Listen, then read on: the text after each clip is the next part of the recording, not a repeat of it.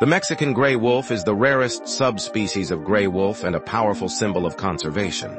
Once widespread across Mexico and the American Southwest, these wolves were nearly wiped out by the 1970s. Only seven survived in captivity, making extinction seem inevitable. Smaller than their northern relatives, Mexican gray wolves weigh just 60 to 80 pounds, but are perfectly adapted for arid deserts and rugged terrain.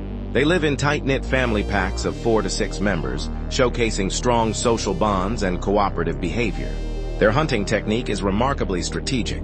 Each wolf plays a specific role, using coordinated movements to take down larger prey like elk and mule deer, an impressive feat for such compact predators.